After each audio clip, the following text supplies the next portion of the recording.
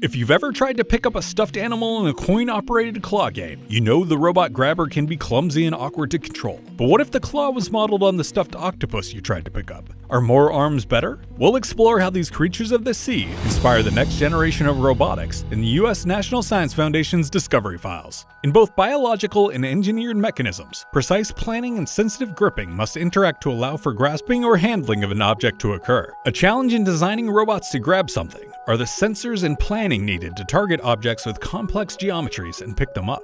NSF supported engineers at Harvard University are working on a new soft robotic system that can handle complex objects by using entanglement grasping, utilizing an array of pneumatically actuated filaments on the size scale of the targeted object. These tentacles can grasp and securely hold heavy and odd shaped objects. The system doesn't require sensing, planning, or feedback control, saving a massive amount of computational and machine learning resources, and can adjust to pick up soft and fragile objects. Potential real world applications include agricultural production and distribution, the handling of delicate tissues in medical settings, the handling of irregular objects such as glassware in warehouses, or use in the sea handling endangered coral or recovering priceless artifacts from a sunken ship.